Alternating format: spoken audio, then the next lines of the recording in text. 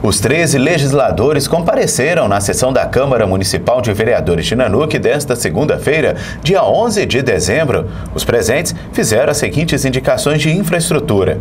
Elienes Oliveira Santos Tigre, construção de uma quadra poliesportiva na área ao lado da Escola Municipal Serafim Machado Naia, o CAIC.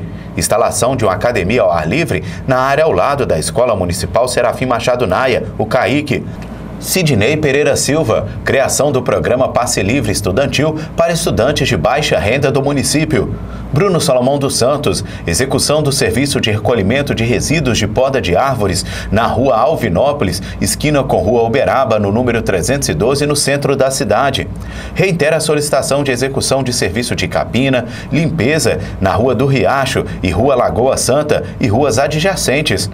Execução do serviço de recolhimento de entulhos e resíduos de poda de árvores na rua Pouso Alegre, nas imediações do número 1187, no centro da cidade. Determina a divulgação dos dias e horários da coleta de lixo no centro da cidade para o devido conhecimento dos comerciantes. Instalação de um parque infantil no bairro Világio Vista Linda. Djalma Moreira, criação, organização e estruturação de uma guarda municipal. Reitera a solicitação de substituição da caixa d'água que abastece os moradores do bairro Jardim das Acácias por uma de maior capacidade. Elson de Souza Lima, gratuidade de transporte coletivo para o deslocamento de eleitores ao exercício do voto no âmbito do município de Nanuque. Contratação de fisioterapeutas para atuar no atendimento à população nanuquense. José Oswaldo Lima dos Santos, proibição do corte de fornecimento de água e energia elétrica nos imóveis onde residem pessoas enfermas em fase terminal ou acamadas que integram o cadastro único. Lote Inácio de Souza Júnior, moção de aplausos a Ticiane Moreira, educadora, instrumentista e voluntária de ações sociais no município de Nanuque. Instituição da Semana Municipal de Valorização dos Trabalhadores da Saúde, a ser comemorada anualmente. Hoje aqui na Casa do Povo queremos mostrar aqui para a nossa população, aqui são as demandas que a população aí tem nos procurado, tanto na rua como também é, pelo WhatsApp, redes sociais. E hoje, mais uma vez aqui, nós viemos aqui pedir o nosso prefeito municipal esses pedidos de providência, entre elas reiteramos aqui mais uma vez, né, que é o pedido da questão da Rua do Riacho. A situação está triste, eu vi vídeos ali e solicitamos hoje, e também a Rua Lagoa Santa, com as suas ruas adjacentes. Está triste a situação ali, que pega a Rua Lagoa Santa, a Rua do Riacho.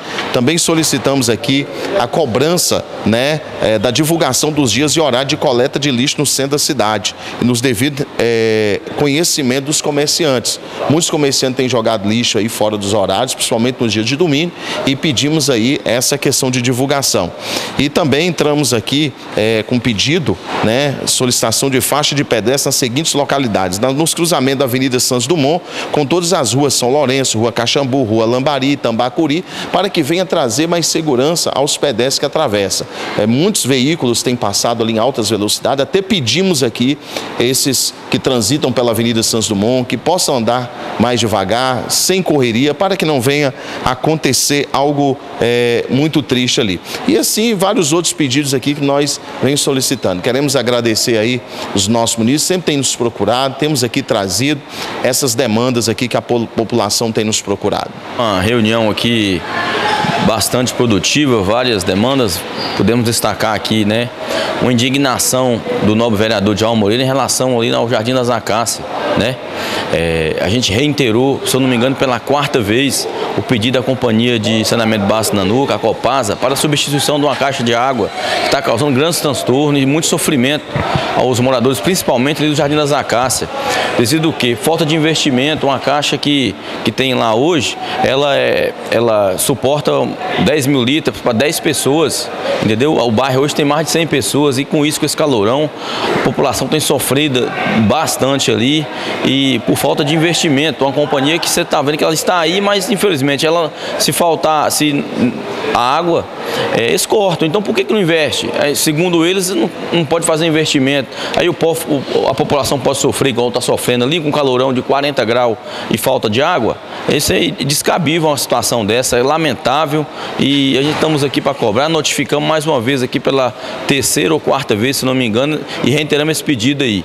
Também, né, é, é, foi pedido aqui, né, por causa dessa essa seca que está aqui na região, que o prefeito toma providência de alugar ou locar dois caminhão-pipa para esses incêndios constantes que estão tá acontecendo aqui na cidade. Né? E os, os, produtores rurais têm cobrado de nós e foi, foi solicitado aqui na Câmara Municipal nesse dia de hoje. E também, mais uma vez, o meu apelo aqui ao prefeito municipal, à Secretaria de Obras, em relação ao recolhimento de entulho e limpeza dos bairros né? É, de nossa cidade. Está lamentável a situação, está tá muito feio. Então, ver aí uma força-tarefa, fazer os mutirões, para que chega no final do ano aí, vem muitas pessoas de fora, os parentes, ver rever seus amigos, seus... então a cidade tá, precisa fazer um mutirão, precisa limpar, é, principalmente ali na região da Vila Nova, está muito feio para a gente. Muito obrigado. Fizemos aqui dois pedidos de providências. Um foi a contratação de fisioterapeutas para o município de Nanuque e para o distrito de Vila Gabriel Passos e para o distrito de Vila Pereira. Por quê?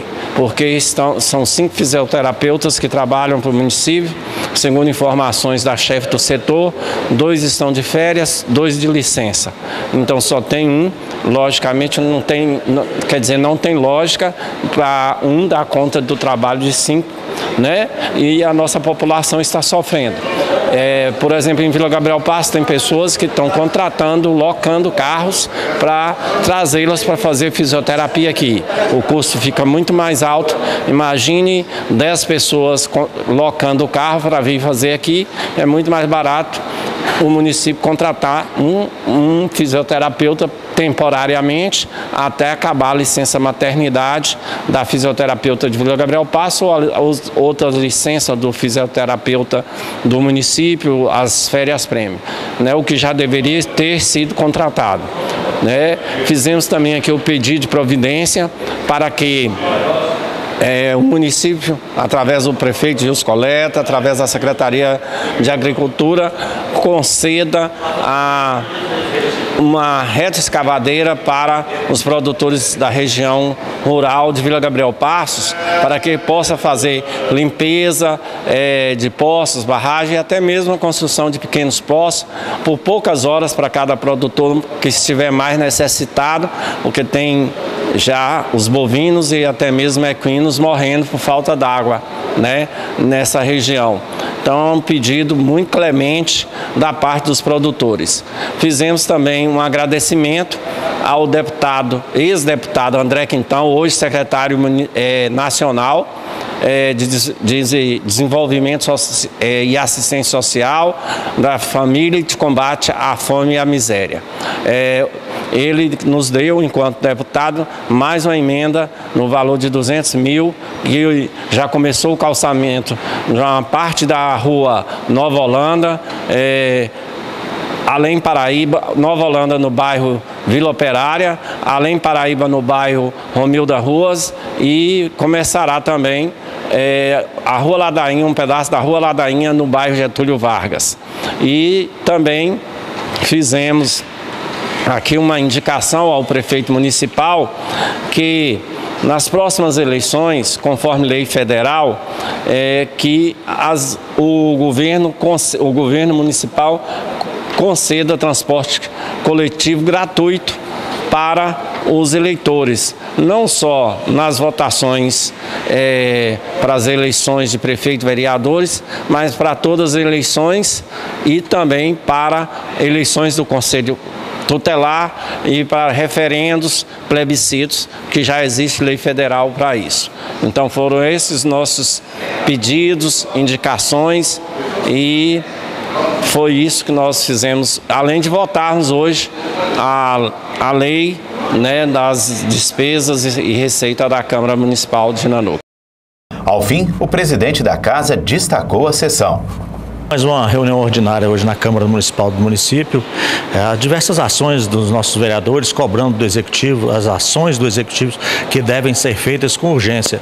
Tratamos aqui principalmente da elaboração do orçamento para o ano de 2024, que, é, que vai fazer com que as ações definitivas, aquelas ações é, que são feitas ali na comunidade, sejam exercidas pelo Poder Executivo. Estamos cobrando de imediato agora as principais ações nessa seca que vem. É, é, nós nosso município vem passando. Os produtores rurais estão sofrendo demais, não só no município de Nanuco, mas nossa, nossa região toda com essa estiagem. Então o município tem que ser mais incisivo, a nossa é, Secretaria de Agricultura já tem alguns planos e nós estamos cobrando para que esses planos é, de trabalho sejam feitos o mais urgente possível, como a distribuição de água do, nos, nos produtores rurais através de caminhões-pipa. É necessário imediatamente começar com essas ações.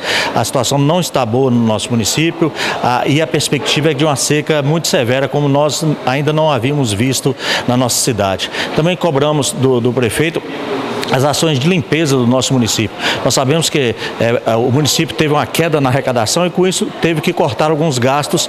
Desses gastos eram, eram, foram feitos também os, a corta de gastos cortar-se os gastos com os combustíveis da frota da, da prefeitura. O que aconteceu foi que diminuiu o ritmo de limpeza no município. Mas agora, com o chegada do final do ano, é necessário que a cidade esteja limpa, é, bem preparada para receber os nossos é, parentes e visitantes que vêm de outras cidades para participar de festividades no município. Então, é necessário imediato a fazer a limpeza e o tratamento das ruas da nossa cidade. Ah, na Câmara também hoje é, recebemos diversos moradores do nosso município e como eu sempre falo, a Câmara é o, é o local onde os moradores têm que vir para fazer as suas reclamações, passar para os vereadores, para que os vereadores possam estar cobrando do Executivo as ações mais afinadas dentro do município. Então venham nas reuniões, participem, cobrem, mandem mensagem. É, importantíssima a participação popular para que traga um feedback que nós possamos estar levando para o Executivo. Nossas reuniões são todas segundas-feiras, às 18 horas, e contamos com a presença de todos.